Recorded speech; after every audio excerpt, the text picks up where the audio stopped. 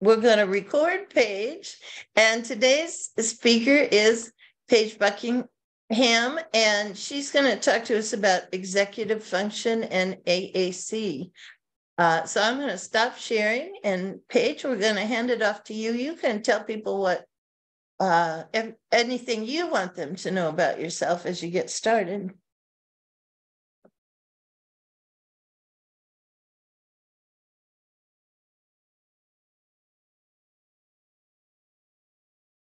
Uh, Paige, you're muted. Well, that would be more successful if I did that. This is much better. Thank you. All right. Um, so we're going to talk about executive functioning skills and AAC today. And um, as Gail said, my name is Paige Buckingham, and I am a speech pathologist by training. I retired at the end of this past school year and now have my own educational PD consulting business um, called Buckingham Educational Services and Training, which I didn't stop and think about how long that was when I named it that, but my husband's like, hey, use the acronym BEST. So I came up with things. So um, my email address is listed on here and also my website. And I'm going to jump to the website here in just a second and show you some things.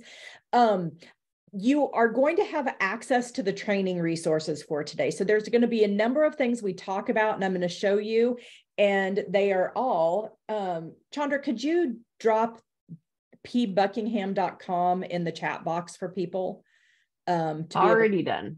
You are fabulous. See i'm just going to trust that you're doing all those amazing things.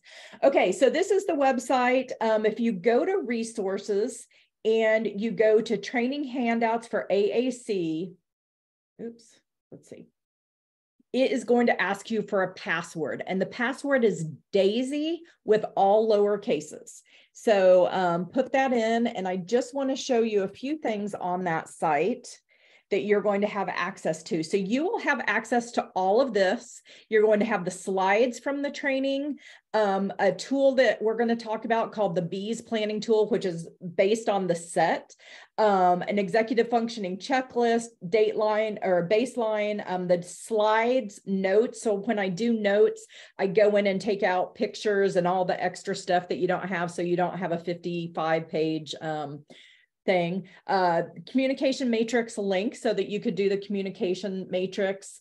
Um, some different things on executive functioning. I do want to show you this one because I'm going to show it to you in the training and you're going to go, Paige, we can't read that. It's way too small. And I know, but this is how you could get it so you could look at it later.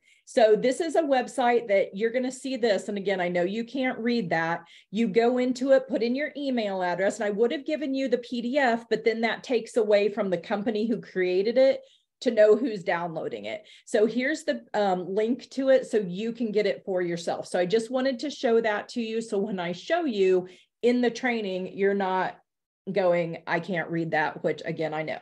Um, so financial disclosures, like I said, I um, own uh, an educational consulting business and I do a lot of work with Infinitec, which is an assistive technology group based out of Illinois, but we also do work in Kansas and Minnesota. And then I'm also a preferred presenter for Texthelp Don Johnston. And um, I volunteer with CASA. I don't know if you all know what CASA is, but it's court appointed special advocate. So I am fortunate to be a CASA volunteer and I'm a member of ASHA. So again, here's just a little information about me. This is my family. We're getting ready to add another. I'm getting ready to have a daughter-in-law. Um, so that is my family. My daughter is in the middle, and then my husband of almost 32 years, our son-in-law and our son. And I have had the opportunity of living in different states um, in my professional career. I lived in Texas. I went to Baylor University, and then I lived in Houston and worked in the Houston School District, which is a huge, large urban school district. That was my first job. And I actually worked at a school for the deaf, a regional school for the deaf. And then I moved from there straight to Nebraska, to rural Nebraska. So I've worked in urban, I've worked in rural, and then I finished my career in Lawrence, Kansas, which is where I live now. Um, and we are the home of the University of Kansas, although I did not go there. And um, so that's kind of what my trajectory has been. Um, we're talking about today the objectives really of what we're going to do in this training and in this um, session is you understanding what executive function skills are and you you likely already do. And then we're going to look at how do executive function skills in work with AAC? How do those two things connect? And how do you teach those skills? So, really, what we want to do is looking at how do we support students to be able to learn skills for life. And I always say these are the official ones that we have to turn in for CEUs, but here's what we're really going to do today. I want you to learn something new. I want you to think differently about something you already know. Because, and I just realized that says new instead of no. Um, because I'm not going to be telling you anything that you don't already know. I hope I'm just making a link and a connection between two things you know and make you have that aha of like, oh, wow, that's really what I want to happen today. And I just want you to reevaluate what you're doing. Again, I was in education for 32 years. I don't want to add something new to your plate. I don't want to say, and you need to restructure this and create all this. No, no, no. You're going to be doing the same things. You're just going to be looking at it a little bit differently. And that's really what the challenge is. It to, is to expand the learning and maybe make a new friend, you know, connect with somebody that says something and you're like, hey, I need to, you know, connect with them on LinkedIn or something because they said something that really inspired me and made me think about things. And mostly, I want to give you something that the next time you're in the classroom, which for you guys may be later today, that you're going to be able to do something different. I don't want to give you anything that is really difficult. I just want to give you things that you can go, oh, wow, I can kind of do a little tweak on that. So if you could pop in the chat box, who are you guys? I see some PT and SLP after people's names, and I don't know Oregon. So if you tell me where you're from in Oregon, I'm just going to go, great, you're from Oregon. But if you could kind of just tell me, and I see it on the chat box, there we go, um, just kind of what you do, um, what you kind of what your area is, and kind of what you're bringing to the table today.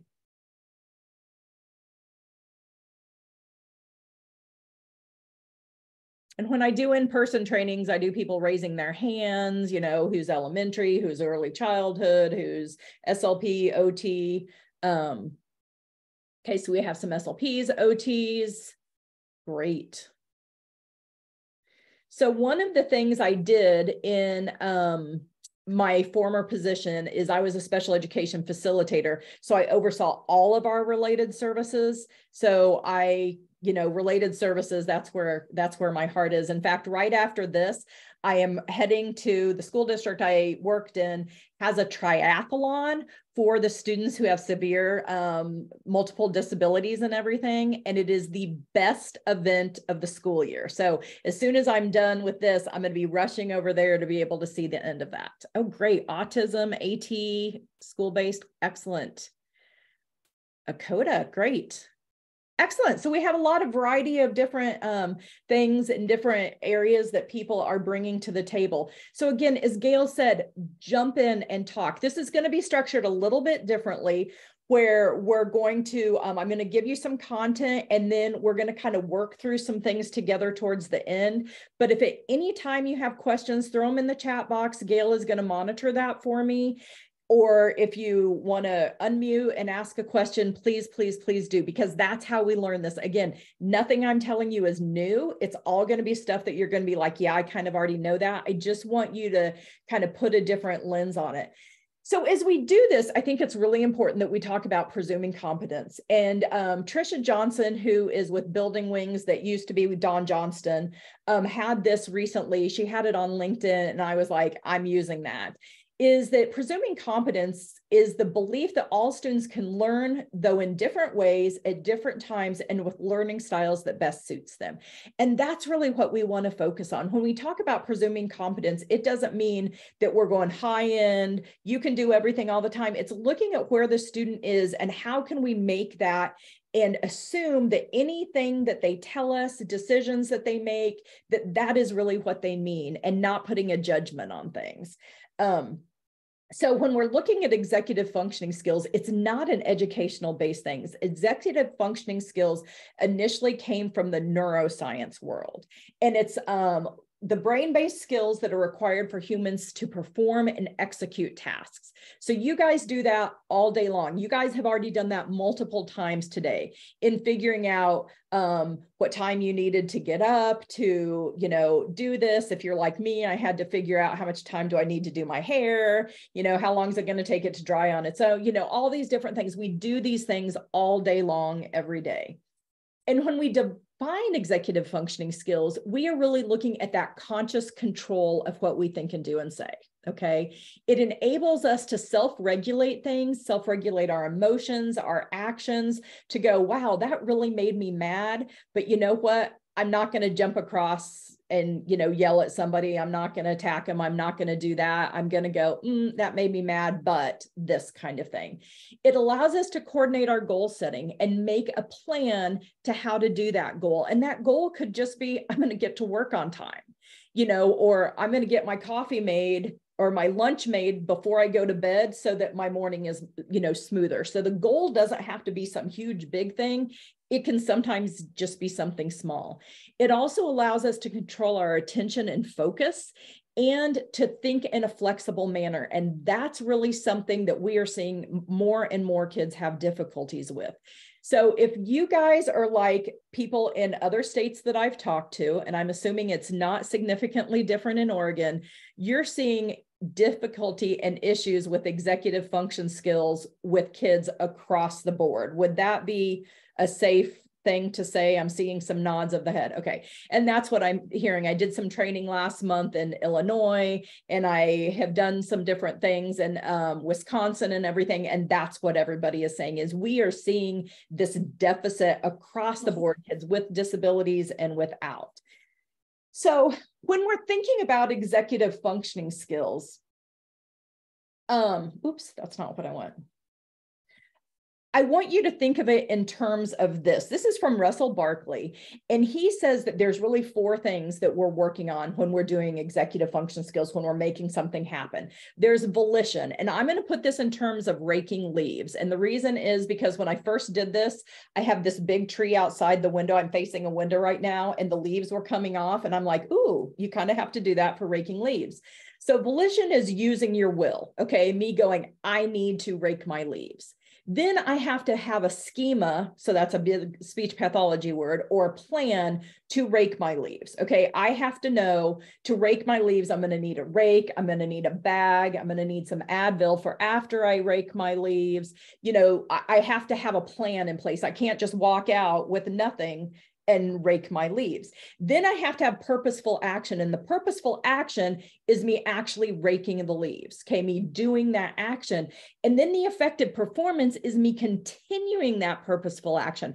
I can't just go out there and do the purposeful action for 30 seconds and end up with effective performance. Okay. So, what I want you to do real quickly, and we're just going to take a minute, is think of a common task that you do or a student does and break it into these four things. What does a volition look like for that? What is the planning? What is the purposeful action and the effective performance? And then if somebody doesn't speak up, I'm going to pick up pick on one person.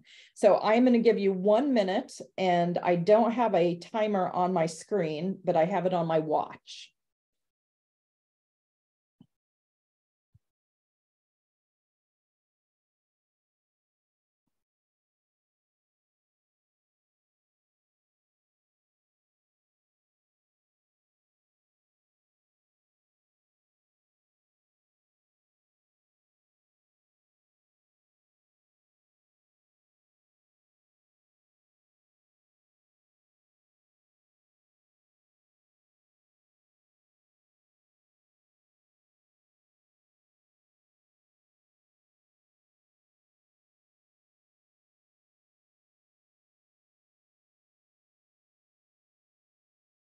Well, I just said it for an hour. So um, obviously that I don't want to do that. So, you know, I, I, would say it's Monday, but I guess it's Wednesday. So, okay. Mm. Anybody want to jump in with a common task you did that you were able to break down in this area?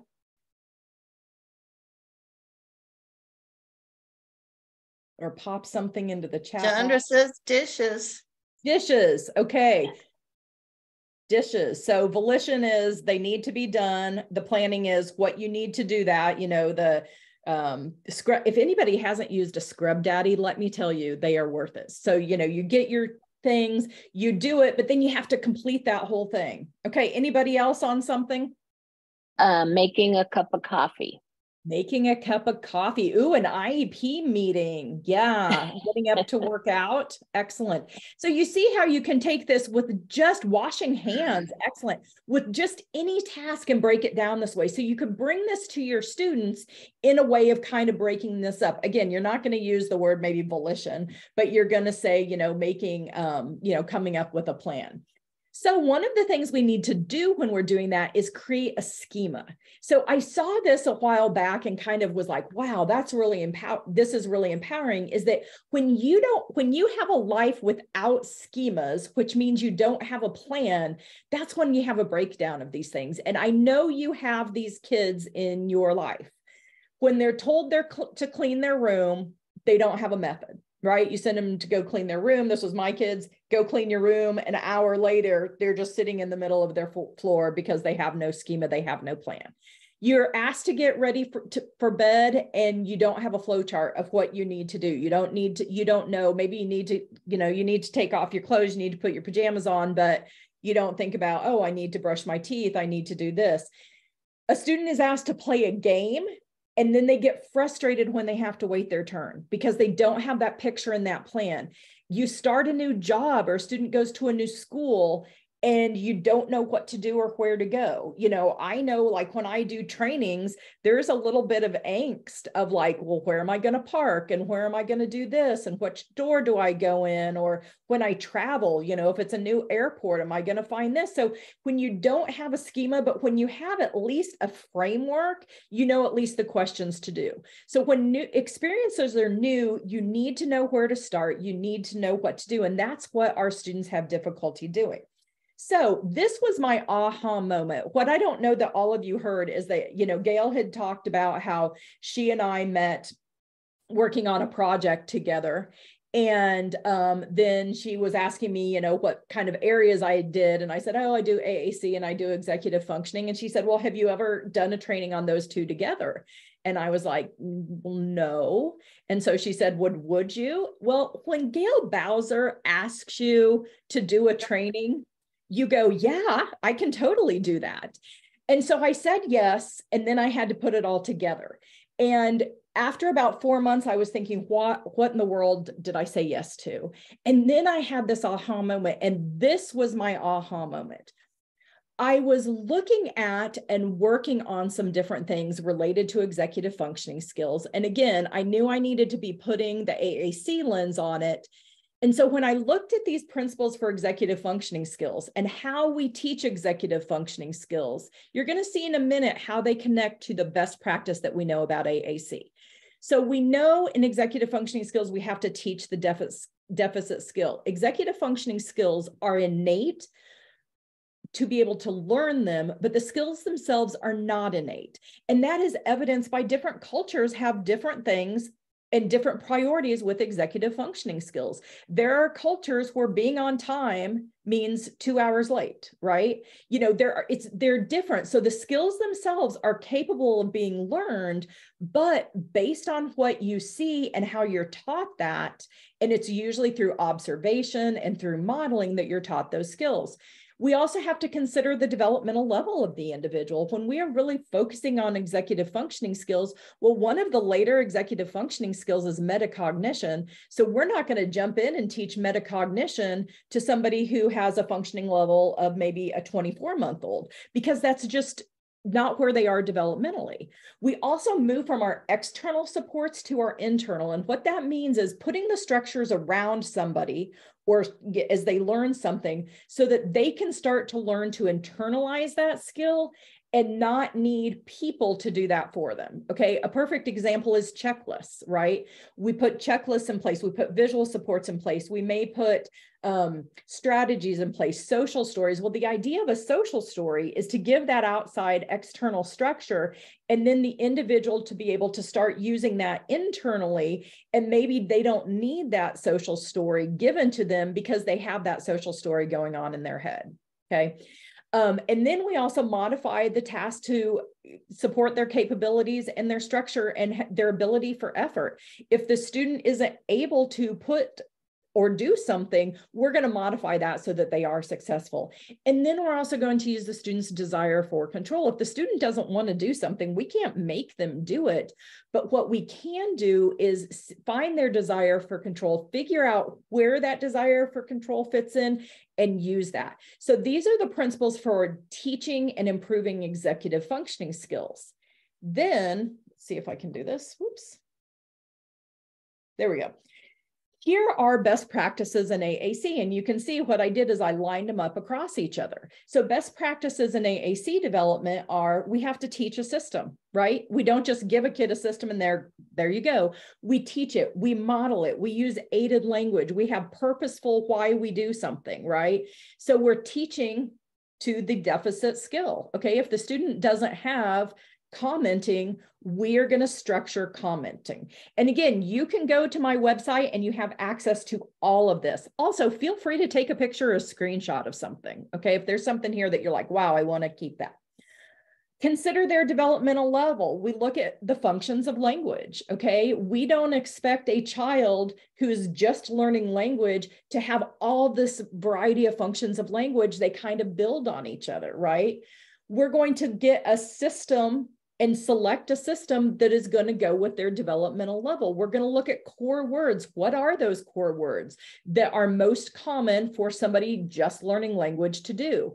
Then we're going to move from that external to internal. And again, we're going to be using visual supports. We're going to be using color coding, aided language, and not that we pull those things away, but in time, by doing that thing, by doing that, the person who uses the system is going to start internalizing this and picking up on this on their own. Okay, when you're doing the color coding, you know, you, most systems now have the yellow being the pronouns, the green being the verbs or the actions. Well, eventually the person is going to in internalize that and know if I'm doing talking about an action, I'm going to go to the green section. If I'm talking about a pronoun or a person, I'm going to go to that yellow section. So they're going to be internalizing that. We're also going to modify the tasks for them. We have some people who are needing the core words. We have a whole new area that is really being talked about in the AAC world, which is GLP or Gestalt language processing. I'm not an expert on it, so I'm not really going to go there, but like I saw the other day that Assistiveware that does Proloquo is doing a webinar on GLP. So if you have a student who's a Gestalt language processor, what you do for them is going to look different than for somebody else. You're also going to have different systems that are set up. There's a reason why there is not one system that works for every student. And it's because they have different capabilities, they have different efforts. Some kids need that motor planning piece, some piece, kids need the category um, piece. Some kids, excuse me, need topic pages. And then using students' desire for control is really that piece of following their lead and assigning meaning. I was telling um, Gail that I did a consult last week, and we had a young man who um, was doing we are doing partner assisted scanning with him and he chose that he wanted to do a break and wanted to do music we're going to assign meaning to that we're not going to say uh, oh he really didn't mean to say that we wouldn't say that to somebody who was neurotypical if a neurotypical child came up to you and said tree you wouldn't say to them, Yeah, you didn't mean to say that. That was just a mistake. You would go, Oh, tree. Oh, did you see a tree? Do you want to talk about trees? But yet, with our kids who use AAC, people will go, oh, that was a mishit. Well, how do we know it was? We're going to assume competence and we're going to assign meaning to that. So that's where that desire for control. How does kind of bringing these two things together, is this making sense for people? Am I like Okay, I'm seeing some head nods. Okay, good. So this isn't as I put this together, it isn't just me. Oh, good. I like the thumbs up. I um when I when this came together, I emailed Gail and I'm like, hey, can we meet? I need to kind of talk about this and make sure it's not just me that came up with this. So when we look at executive functioning skills, it is directly related to language ability. Now, when I say this, I am going to acknowledge that we have some people who have amazing language abilities who have horrible executive functioning skills. So that's really not what I'm talking about. I'm talking about that initial development, those initial stages, which most, Gail, did you? Oh, no, okay. I was nodding. Your, your screen popped green real quick to me. Um, so what we know is in order to develop this, we have to give students the language and we have to be purposeful in using that language with the skills so that they have that. The student isn't going to be able to talk about their emotions if they don't have emotions words, right? Um, we also know, especially with our kiddos who use AAC and especially with our students who are on the spectrum, that our receptive is going to be their understanding and as expressive as how they use it. And those don't always match. We sometimes have kids who have significantly high receptive skills and very, very low abilities in expressive. And we also have sometimes kids who are the opposite, who they have a lot that they say and their expressive is really high, but their receptive may not quite be there. So just kind of that acknowledgement of those are going to be different. So one of the things we're going to do today is talk about, I want you to think about what I call the B's. And this is based on the SETT model by Joy Zabala, which is Student Environment Task Tool, which I'm the biggest fan of the SETT. That I think I think I'm actually a bigger fan of the SETT than Joy was. She one time told me, Paige, I think you love this more than I do. But um, on the website, and I'm sorry, it's allergy se- season here in Kansas, and I'm I'm feeling it kick in. I don't know how much you guys have allergies in Oregon, but um, so on the website, you will have access to a page that looks like this. And that is what I call the B's planning tool. So the B's is where instead of looking at the student, we're first going to look at the behavior, what is going on with the student that we're like, oh, that's really getting in the way of their learning. So what's that behavior? And then let's link that behavior to an executive functioning skill. So what skill goes with that? And you may have multiple skills that go with it um, then what are supports and things in the environment right now that are available to the student that could help and support them? And then what strategy or what we're going to really look at is what's the vocabulary that we want to do to do this? So again, here's the B's tool. And when we're looking at it for AAC, I want you, as I'm going through this today, to have a kid in mind. Okay. I want you to bring a kid in mind that uses AAC. All right. And then I want you to think about what is that behavior? What's going on with this kiddo that's maybe getting in the way of them becoming more independent? Okay. What is that thing that is really just kind of that, ugh, we need to move past this? And then what executive function skill do you think connects to that? And we're not going to go deep, deep into all the specific executive function skills today because that's a full day training but I'm going to hit on a few of them. And I encourage you to do research on this. And one of the things with executive functioning skills, I mean, it's not like language where we go, okay, these are your different areas of language and everybody can agree on that. There are up to 33 different executive function skills that you can find in the research and the literature. Um, and so some people will say there's three, some people will say there's a big four, sometimes you hear seven. I like the 11 that are talked about in the book Smart but Scattered um, because I like the way they're broken out. Because it's like with reading, if I said, well, this kid has difficulty in reading, fix it kind of thing. Well, uh, you, I need a lot more. Is it decoding? Is it comprehension? Is it, you know, what's the issue? And so that's why I like to look at executive function skills um, with more so that you can really dig in and find that exact exact one. And then what are those environmental supports that are already in place? Because they're in place. I guarantee you there are many, many things in place. We just need to pop that executive function lens on it and maybe use those things more purposefully. And then what vocabulary words might need to be taught that the student may not have, or that you may need to be very purposeful in using to support that. And then how do you share this with other staff and who do you need to bring on board? So you'll see as you go through this, what I have is what do you need to do this? So you know kind of what what's your plan for this? Who do you need to bring on board? Because i know early in my career something had said and i just barged into a classroom and i'm like we're going to do this. And the teacher was like uh did you talk to me about that first? So who do you need to bring on board? Okay? And i am going to encourage you to bring all your related service providers on board. I cannot say that enough. All the related service providers need to know this and bring them on board because they have a different lens they're going to bring to this. And then how are you going to monitor the prog- progress? And one of the things I really love to have teams talk about is what may be an indicator that this isn't working. And I like to have that discussion ahead of time so that if you see it, people aren't pointing fingers and also, if you see it, you've already said, hey, if we see this, we need to get together again. And we need to look at what's going on. Why do we think it's not working and tweak it? So if you kind of preempt everything by saying, hey, a possible indicator of this not working is the behavior is going to increase and not decrease because we always know the behavior is going to go up a little bit but it's going to increase and it's not going to decrease or an indicator of it not working is going to be a total shutdown by the kids. So if we see that happening then we need to meet and kind of go on with that. Any questions over that before we jump into some of the next stuff? And gail am i right that we need to be done at 9 15 okay. All right, I just wanted to double check. Any questions over that? You can pop them in the box or unmute. Okay, we're getting ready to get into some stuff where I'm going to require you to help me. Okay, so how many of you are familiar with the communication matrix that Gail helped create?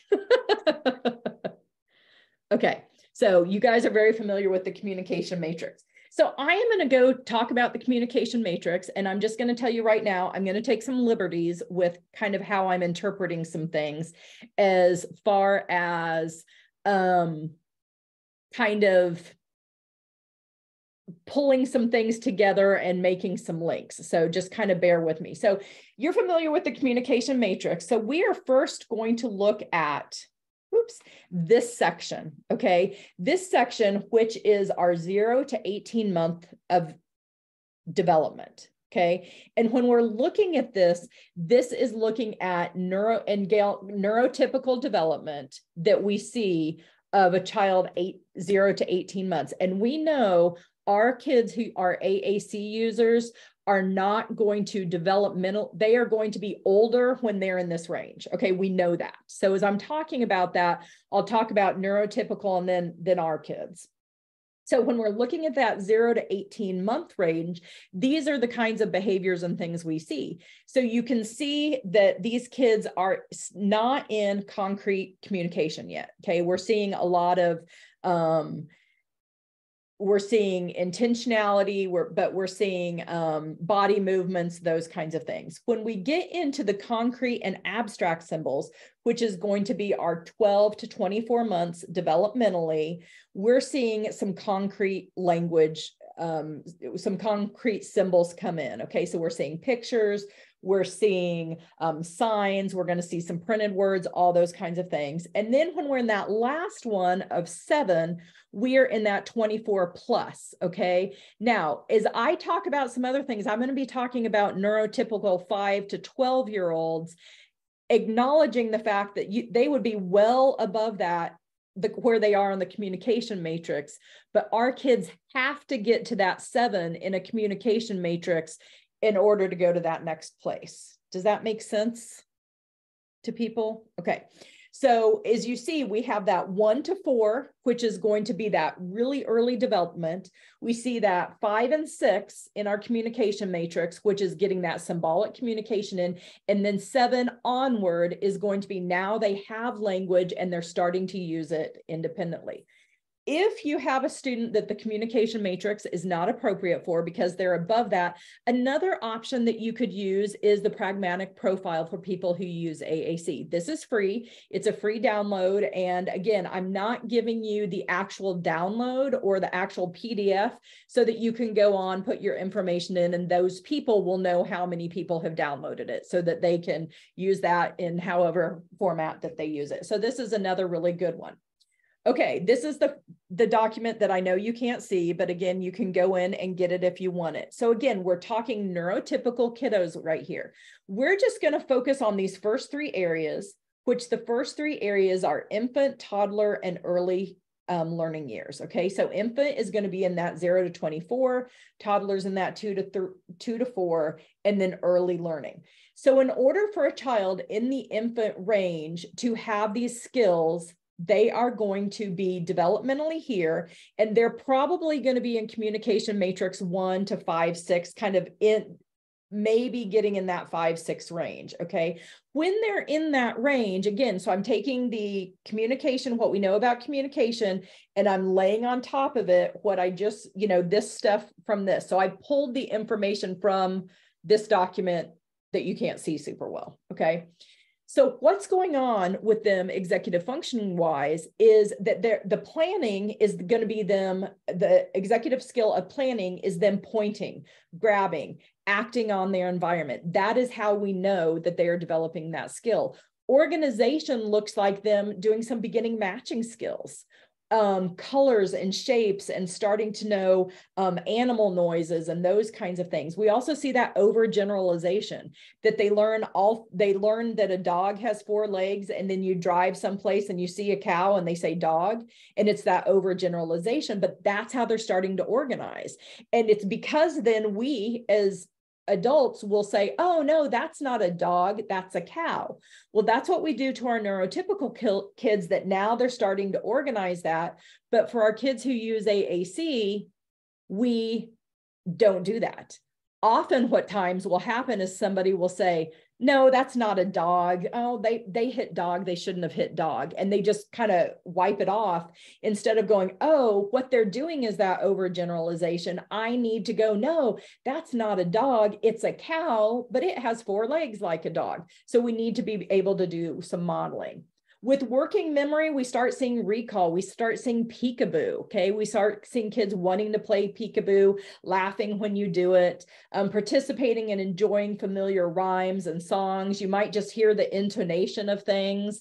Um, fill in the blank when pausing for familiar songs. I remember my son was about, oh, maybe not even 18 years old. And somebody had given us this, he's 27, so a cassette tape that had this ABCs, and it wasn't the normal ABCs. It was like A is for apple, B is for ball, and it was this song and had a book. And we played that in the car ad nauseum.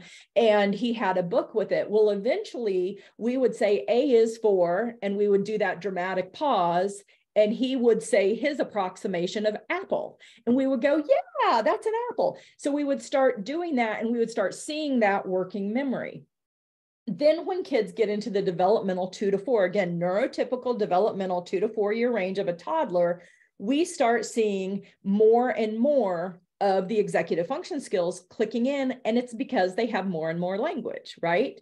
So this is where they're going to be in that communication matrix level five six moving into that seven because again the matrix goes to 24 months which is two years moving into that where they have the concrete symbols that maybe some abstract and they're moving into that language. So we see all these executive function skills click in. So we see planning, we see time management. They're starting to have time concepts of yesterday, later, now, tomorrow.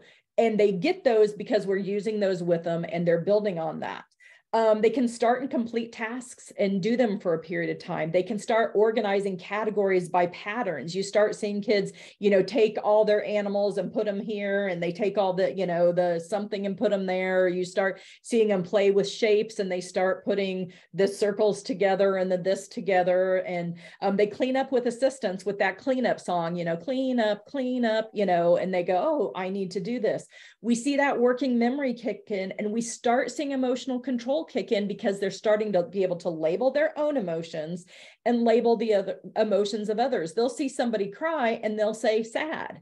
Okay, maybe the person's crying because they're happy, but they start recognizing that in other people and that empathy starts to develop.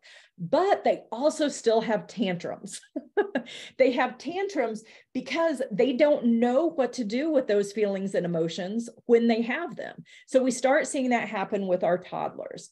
Then we get into, and I know this is a lot of, I'm you know throwing a lot at you but we're going to then take this information and you guys are going to do some stuff with it so when we get into that developmental developmental 5 to 12 years and the reason I stopped at 12 12 years is if you have an AAC user who is developmentally 12 years and above, they're probably somebody who's going to be in general education curriculum, and you're going to be seeing a lot of these things happening with them anyway. Okay.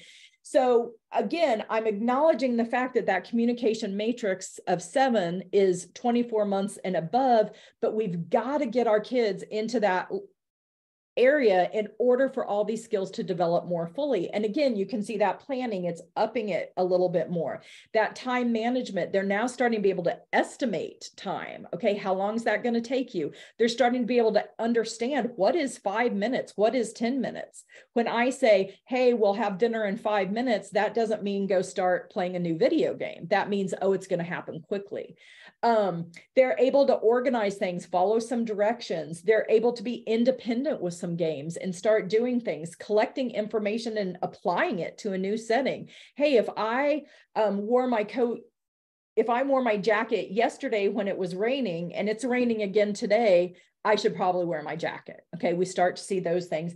And we start seeing them really be able to self soothe and use their emotions to control um, different things. So I want you guys, and this is where I need you to open up and type in and jump out. What modifications and things do you already see in the environments in the classrooms you work in? What are some modifications, um, strategies, different things that you already see um, this?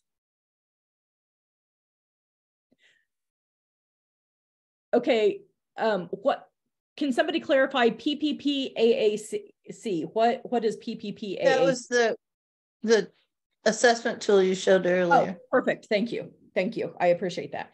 Chunk information, extra processing, visual schedules. Yes. Visual, visual, visual. Excellent. What are some other things you already see in the environment or people doing? Transition warnings. Excellent. Excellent.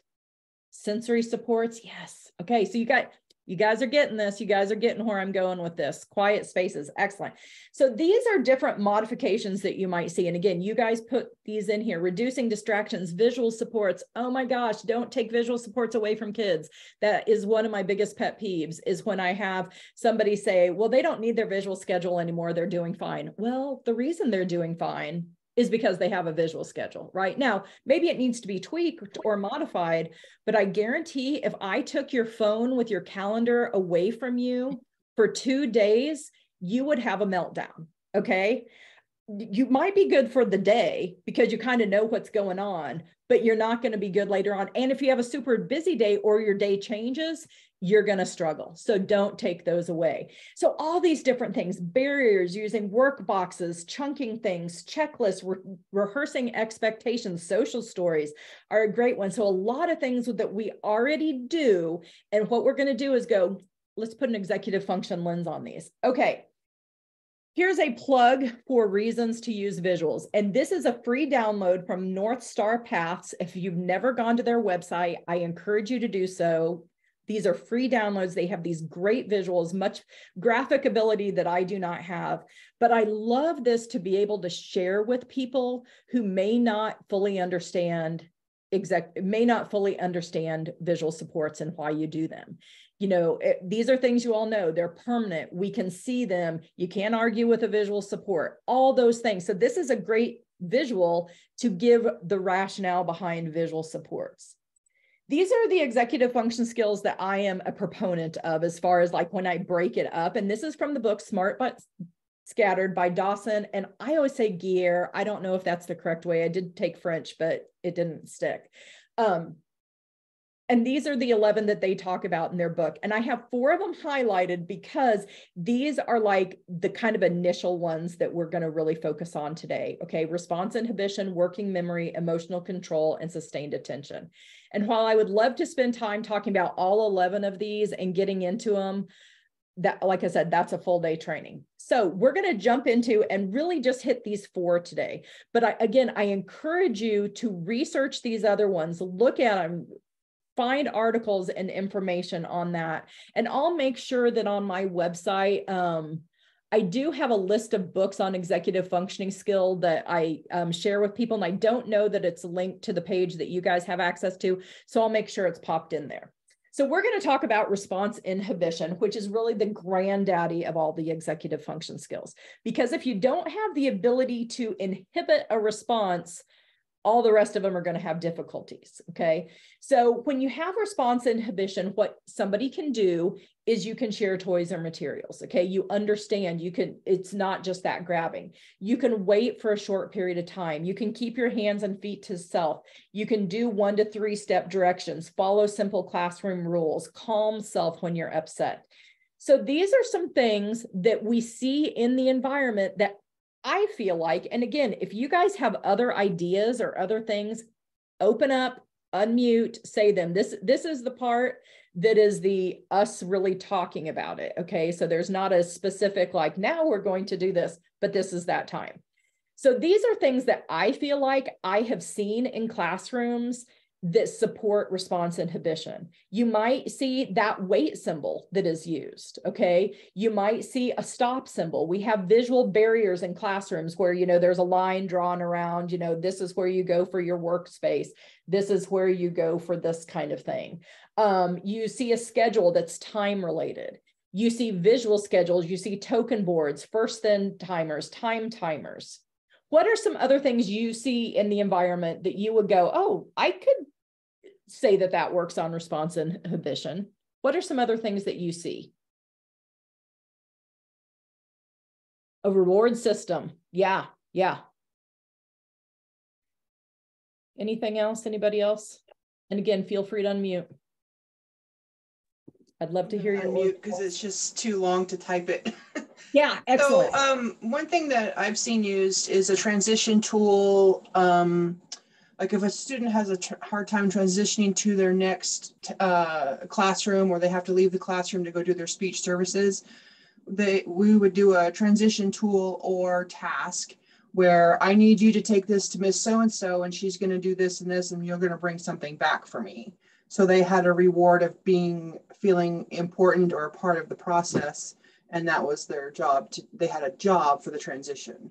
Excellent. Yeah. Yeah. And so many different things. Again, so many different things that we do with kids that it's just best practice and we do them. Again, it's just putting that of that executive function piece on there. Anybody else? I see there's something in the chat box, but Freya says yellow zone choice board. Yeah, yeah. Sensory supports. Excellent. Oh gosh, you guys, these are great. Okay, so now I want I, I would love you guys to throw things in the chat box or say these out loud. What core words, and some of you aren't SLPs, but you can put this lens on also what core words and core words are those words that can be used in lots of different environments. So if you're not familiar with core words that's probably something i should add in here. Core words are words like stop go wait look like you know they're not the fringe that is specific just to an activity. So what core words would you focus on to support executive function develop? Break help More done, stop, go, again, off. Excellent. Wait. Great. Excellent. All right. So here's some that I've come up with, uh, similar to what you guys have said. Wait. You know, I, I if I tell a student they have to wait and I have not spent time teaching them what wait means, I, I don't know that I can expect them to do that. Or at least it may not even be a structured teaching, but just a purposeful use of. Okay, you know, oh, I'm going to give you your cup and then I'm going to use my AAC system, wait before I give you some water.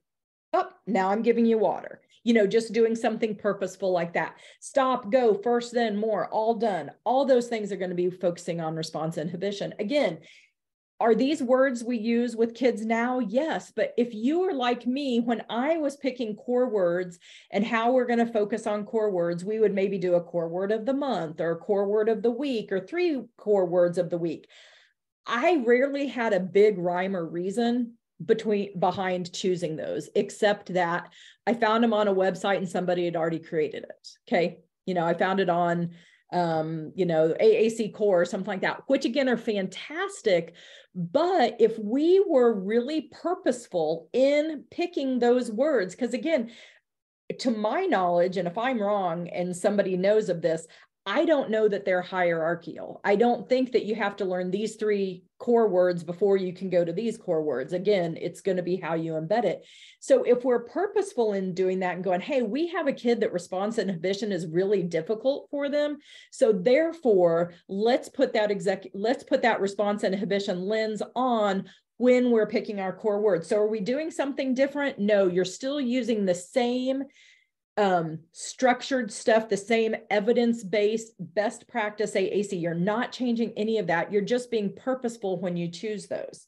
So now, when we jump into working memory, this is the ability to hold that information and use it later. So, this develops early in infancy. This is where we do we hide a toy and put a blanket over it, and the kid like goes and looks for it for the first time, and everyone goes crazy. Oh, they were looking for it. Or you hide the toy and they think it's gone. You know, I know there's the, um, thing that went around the internet a while years ago where people um, would have their dogs and they would stand there and then they would pull a blanket up and then they would jump out of the way and the blanket would do- drop and the dog would you know do that well a dog doesn't have a working memory like that okay that's that's why the dog would think that they were totally gone is because they don't have the ability to do this and we as in people do. Language as it develops you're really going to be able to expand your working memory. This gives you following directions schedules keeping track of materials imagery is really, really important when it comes to working memory. And that is something a lot of our kids do not have is imagery. And it's when you can put that mental image on something and use it for repeated practice. So Russell Barkley says the imagery is related to repeated practice, self-monitoring, self-stopping, seeing the future, saying the future, feeling the future, playing with the future so that you can um, effectively plan and go forward in the future think about your kiddos who use AAC, about the individuals in your life that you know who use AAC, and they may not have imagery because we've really never spent the time working on and teaching them or expecting the competency to be able to do that.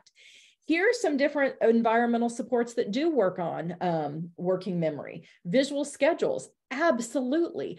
But again, while we don't want to take the visual schedule away, we may want to compact it a little bit.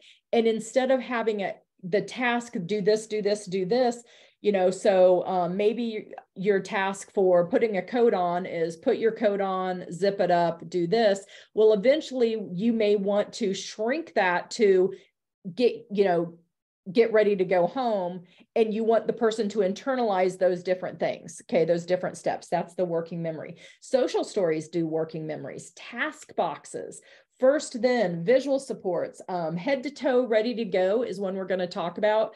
Um, it's the head to toe idea from um, Sarah Ward and block and box, which is this one with this young lady ready to go for class is a strategy from Sarah Ward. Um, again, I'm going to plug Sarah Ward. If you have ever heard Sarah Ward, she, you know, she's amazing when it comes to executive functioning skills.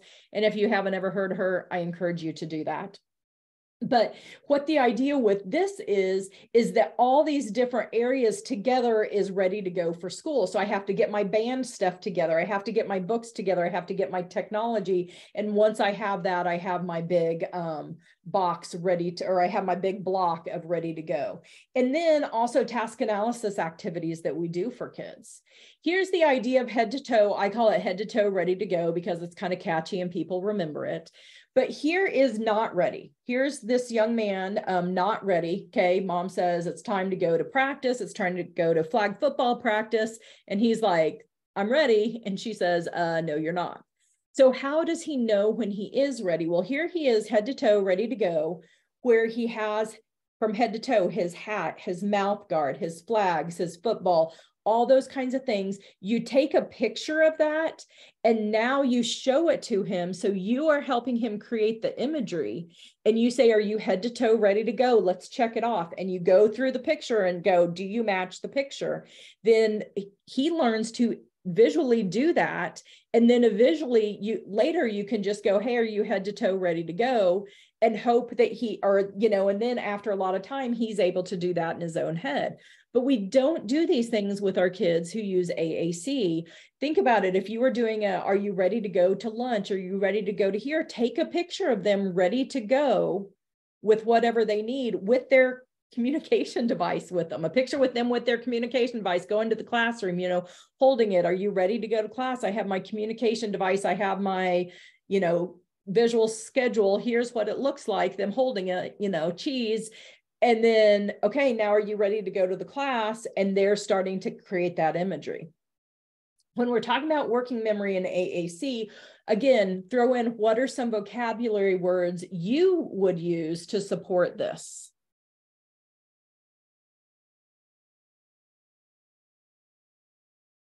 Feel free to unmute. I would love to hear voices too. This is called Echo Voices, by the way, I think.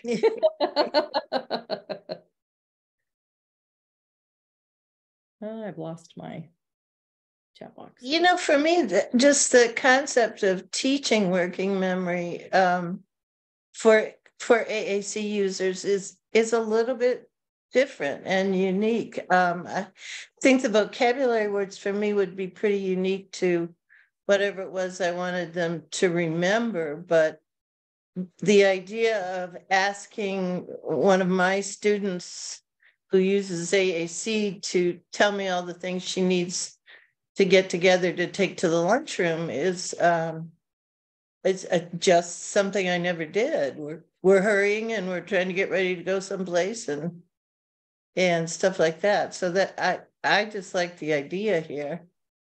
Well, and Gail, I think I, that's important because oh, sorry, somebody else, please. Um, well, I was just gonna um kind of add on to what um Gail said was yeah i i love the idea. And so my first word um I, you have them right there first then and ready. And you know and have taught those words you know taught what those words mean or in process of teaching those words. So well, vicki are you saying ask students to be able to use them expressively? I mean, we do a lot of receptive no, first then. Oh. No receptive receptive that we teach them those words. So when we say get ready to go to lunch they do it. So it's um, basically just just using that get um, the get ready to go um, verbiage and teach them those verb or those words so they know what they mean. Mm-hmm and I think that's the big thing. We use these. I mean, how many times have I used a first then with a student and I never really spent time teaching them first or then or was never purposeful in doing it. I mean, yes, I was modeling it, but did they understand the concept of first? Did they understand the concept of then? Did they understand that first and then there's a wait period? I'll be honest, I don't know. And so I think these are things that we really want to do. You know, when we're doing that working memory, we really want to get into what are those specific things that the student needs in order again because that working memory area where this is where we're starting to really build that vocabulary and everything for them to be able to do it and be purposeful and do it again. Don't do something different. Just be kind of more purposeful as you do it. And and it's and it's those things that you know we we just throw into a lesson that we just kind of like go oh as i'm doing this i'm going to say this thing and you know be a little bit more purposeful in it so that's the piece on working memory. Now we're going to jump in and I see we have about seven minutes left. So we may not get to the full last one, but again, you guys are getting the idea and concept of this. So emotional control is the ability to manage those emotions. And I think we often think of, especially when it comes to people who have difficulty with emotional control. We think of people who have tantrums or can't control their emotions by doing something that is maybe a disruptive behavior. But I want to challenge you also that is the student who just sits and gives us very little input, do they maybe have some emotional control issues? you know, and maybe their emotional control is they need to learn when they're upset. They need to learn when they're frustrated. They need to learn those words to be able to say, I don't like that. You know, stop. Um, but we we really don't do that. And I saw somebody put in earlier yellow zones of regulation. So these are things we do that are in our environments, using zones of regulation, using first then, and using five point scale, size of the problem, time timer. The Superflex materials from Michelle um, Garcia Winner are fabulous. Everyday speech materials. Are any of you familiar with everyday speech? Yeah, it is fantastic. I my district found it during the pandemic and if you're not familiar with it, it says speech in it, but it's really a social emotional curriculum. And they have a lot of great videos on YouTube that are free, but then there is a whole curriculum that you can purchase from them. So these different things and using words to really talk about emotional control and be able to name it. So some of those things are, and you guys are already getting my rhythm on here, are what are those words that we need? Um, Ooh, gosh, yes. Sorry, I'm seeing one of the comments. Sometimes we expect they just watch others and do it, and it doesn't mean they understand the why. Absolutely. So, what are some of the words and everything for emotional control?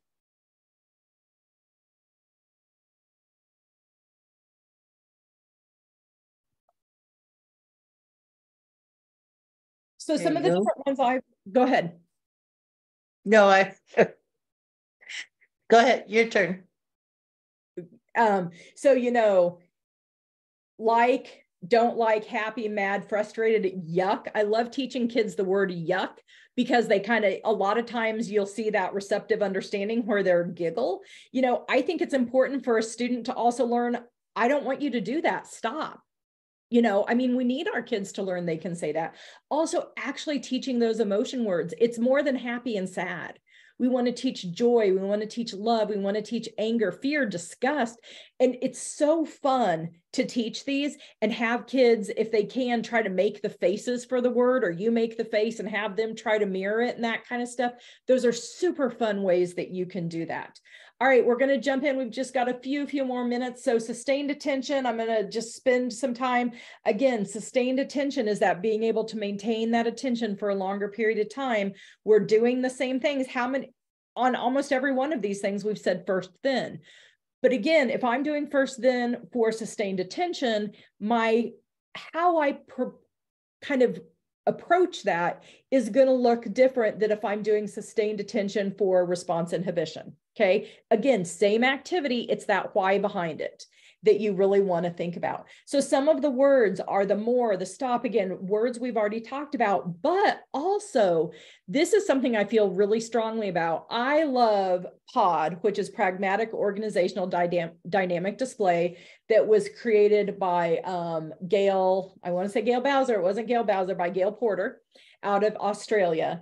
And what it does in there is they have these things called pragmatic branch starters, where you start saying to the student, oh, you, you say, oh, you want to tell me something. It happened.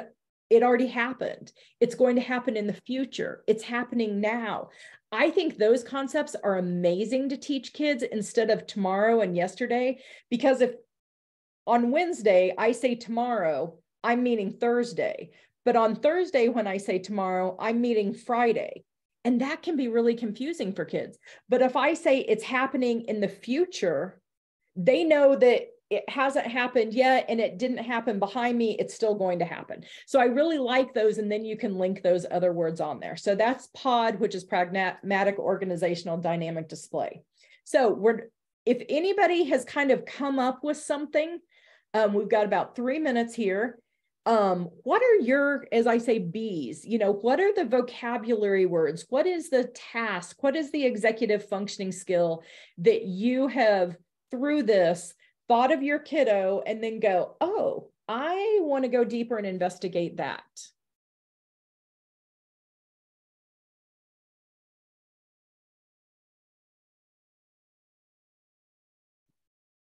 Well, I, I want to go in more and investigate the ready set go and how to teach those words. And uh, the, i thought that's like that's my takeaway from this. Yeah. Or yeah. one of one of my takeaways. Absolutely. Anybody else?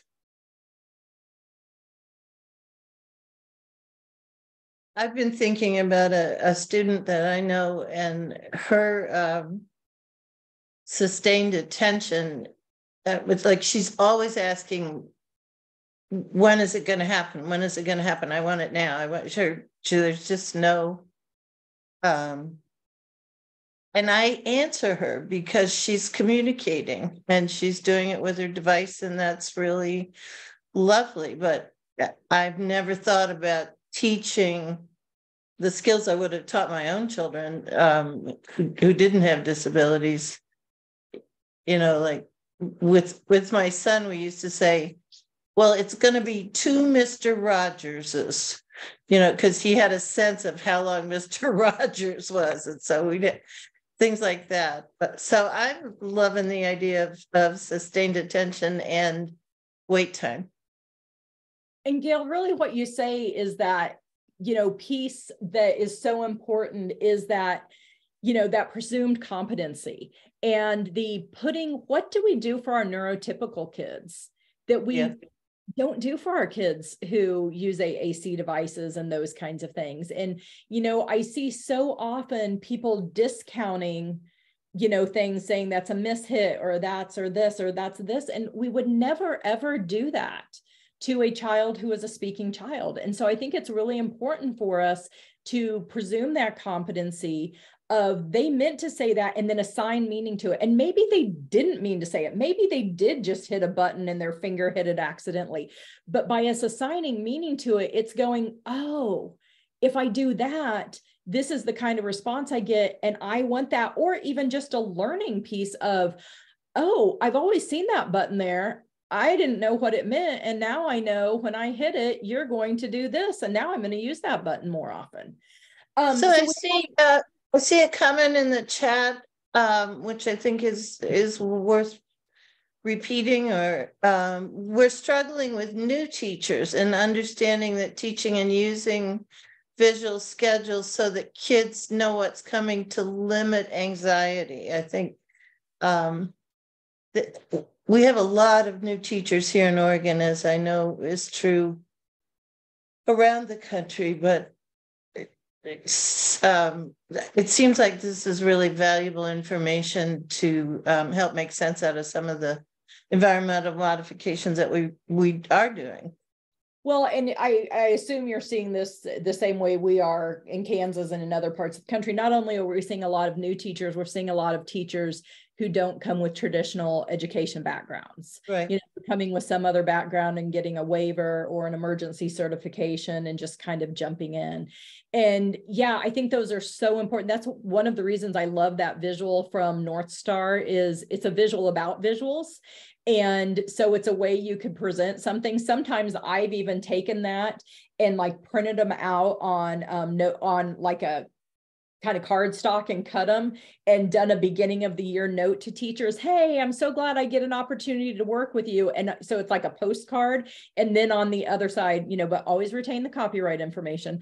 Um you know on the other side it has that picture of why visuals are important that you're going to put on it and you know you might even say hey this is a really great website i mean seriously they have a ton of posters and everything that are just there for are free and available so i encourage so you Paige, to why don't you wrap it up here with your yep. Uh, i assume this is your last slide this is it. and then we'll stop the recording but we'll stay on and let people chat more if they want to Okay. Yeah. So just a reminder, if you have a question or a comment or a thought, feel free to email me. This is my email, pbuckingham.kansas at gmail.com. And then the website. And again, go in and look at those resources. Um, the password is Daisy. And um, I will, as I new things come up, I'll add them to that page and you will have access to that page. So it isn't a one and done thing. And um, I am on LinkedIn and Twitter. I only for Twitter, it's only business related. I don't do any other kind of stuff on there. Um, but yeah, I'd love to connect with you guys. And thank you so much for joining today. And uh, email me and let me know what you think. If you use any of this and it's successful, or if it's not successful, let me know. Um, you know, that's information I want to know too. So I appreciate your time this morning.